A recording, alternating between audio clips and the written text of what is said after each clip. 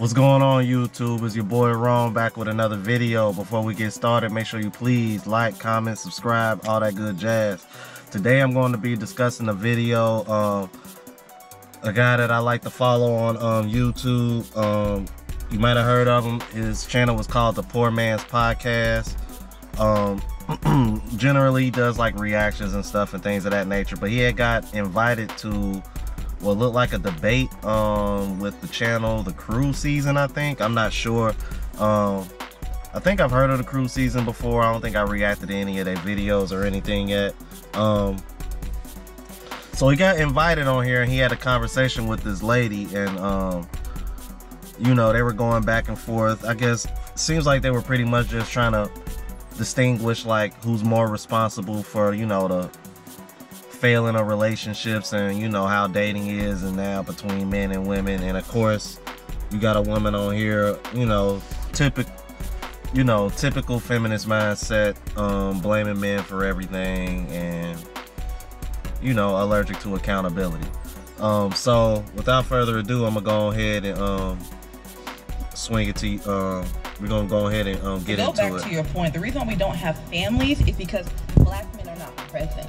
Oh. Let's take a plethora of examples. Let's look at Tristan Thompson. Tristan has a third baby mama, okay? And he was willingly sleeping with this woman unprotected, nutting in her, Mm, okay? Right. He knew what the outcome could be. right. Right. But as soon as she got pregnant, he said, "Well, I'm not gonna be present. So why are you even having the baby? So why why are you having unprotected sex with a woman when you don't even plan on being present for a, a possible baby that could happen? Okay, listen to Let's this. take future. Hit me up. Okay, yeah, go ahead. Talk, talk Let's take future. future. Talk future. 10, 10 he has like what 10 Ten of them. 10 God. NBA young boy. 10. What? Ten of them. All of them girls. So you have one sexually irresponsible man, but you have seven sexually irresponsible women. Or in Future's case, you said ten, nine sexually Wow. irresponsible women. Because why would you? blaming the woman? Listen to this. If you're a woman, why are you laying down with a man that you know that does not take care of his children? Uh oh. Going after. Now I want to stop this here because that's a very valid point. Now I want y'all to pay real close attention after this say he said that. Do you see that girl's reaction? Do you see her reaction? This is what we deal. This is this is this is the kind of women that we're dealing with, man. They don't want to take accountability for anything, bro. Like real talk. They don't want to take accountability for everything. Everything is our fault that's the look of a woman who's like, you know what, you're right, but I'm gonna try to swing it. But but you're right, but I'm gonna think of a way to try to spin it because we can't take responsibility for that. It gotta be y'all fault. Now, Poor Man's Podcast made a, the perfect point. How in the hell can you not hold the woman responsible as well when this man has a repeated history of not being there for his children? And then on top of that, you have all the time in the world to decide where you want to have that baby or not. And instead of exercising the right to not have it, you choose to have it, even when it's clear that the guy that got you pregnant isn't going to be there to help you with the child. So, on that note, with y'all having all the all the um reproductive rights, is it really the fair to just solely blame men? I don't know. Let's continue though. You're going after men that you find that are successful, that already have the clout. You know that they're not going to stick to you. You already said that. And then when you get left in the dust, you cry on social media like this, like you didn't know it was going to happen. You knew what you came for. Y'all know how men are. Uh-oh. Men can go into a relationship. They might have a bad history. They might have a bad rap. But when they when you go into the relationship, they might be telling you sweet nothings. Okay? Next thing you know, you think you're different. Uh oh. Okay? So you think you're different and you feel like the story might play out differently for you. So how are you going to blame the woman when it's the man that has the children? This woman is coming in uh, no kids, no history. The man has all the history and you're telling me you want to blame the woman? I blame the woman because she's dealing with a man she knows is it, number one because she's dealing with a man that she knows is inconsistent. Number two because she has birth control. She has Plan Bs. She has And men can't. And men has- can't. hold on, hold on. No, I got men you. Can't Okay, hold on, I got you. Men can't just be I got you. I got you. She has birth control. Plan Bs. She has condoms. Worst case scenario, she has reproductive rights. She when a has man, when a man sleeps with a woman and that child or that what it is, I ain't trying to, you know, for the for the algorithm. When it goes inside of her, And it's easy to get a God quote damn it. mutual.com. So you only pay for Uh, it. my bad, y'all. You move? You move? Sorry, one sec. when it goes inside of her, that's up to her. He is 100% responsible. The government will even hold him responsible. A woman can put a child up for adoption and have no no no connection to that child whatsoever. Men have less reproductive rights than women. Now we can talk about condoms, but if we just keeping it a buck, these women decided to lay down with men that they knew were inconsistent, and that's their problem, and that's the problem at large. A lot of women are deciding to sleep with men that they know are inconsistent and they don't care. So you said that women have condoms.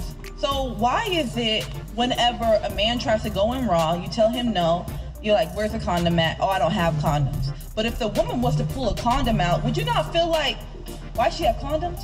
No, I feel like okay, she being responsible at least. Cause what are we doing? If I'm not willing to have a child and I understand me as a man, me being a responsible man, this is what you should be looking for. If you're looking for a man that's gonna question you on that, you shouldn't even be in that situation no way. But why are you trying to go in raw in the first place? But why are you dealing with a man that you don't know in the first place? How do you think I don't know him? Just because, what? How? When you lay down with a man and you ain't even talked about sex before you having sex, what are you doing having sex? Why do you have to talk about sex before you have sex? why can't it just be spontaneous? because if you can't have a conversation about something that you're uncomfortable with, why are you doing it? You saying that you're uncomfortable. If you're you're doing something that could dictate the entire direction of your life, Yeah. and you think that you should be as irresponsible as to not even have a conversation as to whether you should use protection before you do it, as a woman, So you're telling me you never had sex unprotected? I'm telling you, I got a wife, so I do it how I shoot the club up, baby. But that's none. That's that's me. We hit on some good points when it comes to the whole the, the whole dynamic. But the truth of the matter is, and I think Look, I'm gonna go ahead and um stop that here, man. Um so yeah, man. Um this is what we dealing with, man. Um I wanted to hit on that part specifically because for one, it just shows you um how delusional um women modern women can be and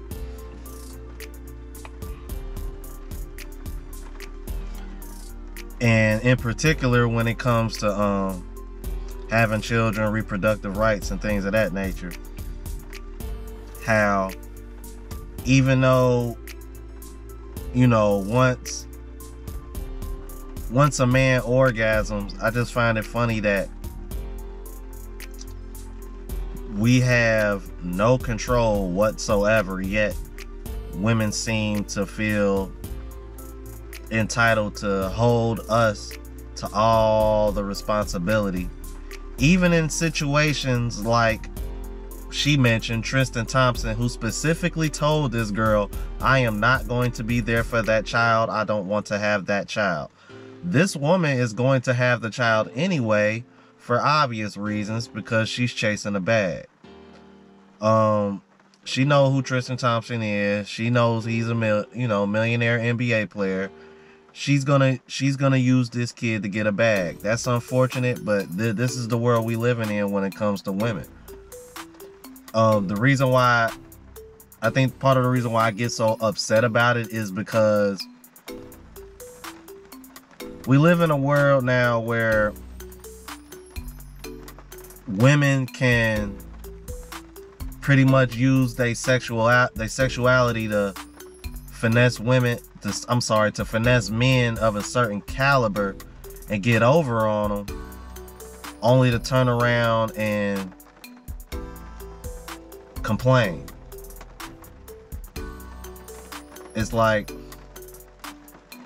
at some point as as adults regardless of gender um when you make decisions that you feel have cost you you know, from getting the kind of outcomes that you really want, you got to take a step back and just be like, okay, what can I do? What are what can what can I do as far as things that I can control to get better outcomes?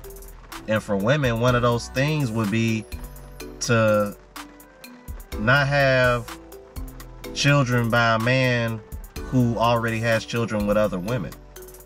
I mean, you would think it would make common sense because like for one, why would you want to be in the middle of all that? I mean, really, after the first baby mama or two, any any woman that had a baby by Future NBA young boy, I'm sorry, but y'all remedial. I'm sorry. That that's I really I I would really have to question those women's intelligence. And really, if I was a if I was a guy and I was dating any of any of these any of these guys, these two rappers, baby mamas, I would question their character because my thing, my I would question them like, why would you have that man's baby when he already had this X amount of baby mamas and he ain't really doing nothing for them? So as a man, that would make me question question those women's character too. And women need to understand that men are waking up to this and men are tired of it. Because as men, y'all, I'm like, y'all, the pre the prerequisites y'all have for men is already so high because of social media and because of the fact that y'all can pretty much get rich quick or get rich quick or get well off quick off of um a guy's a guy's need to get attention um from attractive women. I mean, because if you really think about it, a man, a man, the male libido is probably the primary source of the, of the, of the economy running the way it does now. Yeah, I mean, I'm gonna do a whole video on that in the future. But um yeah. You know what I mean? I just I just want to finish it off like this cuz it's a new year, man, and you know, we got to get past the point of um